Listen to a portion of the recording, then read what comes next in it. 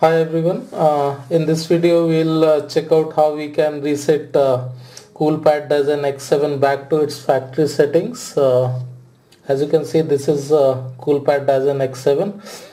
Uh, the process to reset this device to factory setting is simple just as with any other Android smartphone you just need to navigate to its setting. You can do by just uh, swiping at the top and clicking at this gear button.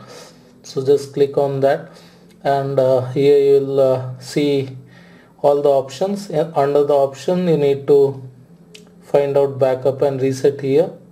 As you can see I'll just uh, zoom it out uh, so that it's more visible here you can see backup and reset option is there. Just click on that.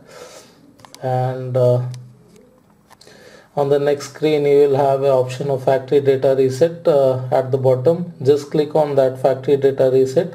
Keep in mind that doing this uh, will delete all your user data including music uh, documents photos and anything else that you have stored later on. So here you can see it will ask you again for a confirmation. You need to click on the reset phone button here at the bottom right? And you will uh, get the final confirmation here that it will clear personal data in your phone and this action is irreversible. If you are okay to go just click on the ok button and the reset process will start. As you can see the device has rebooted into the uh, recovery mode and the here you can see the android robot. All the user data has been now erased and the device it appears that rebooting right?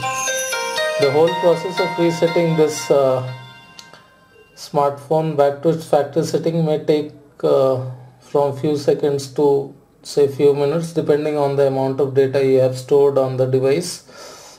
So that's it. Uh, this is the cool, uh, coolpad Dazen X7 back to its factory setting. And uh, thank you for watching this video. Do not forget to subscribe to our youtube channel by clicking the button below. Thank you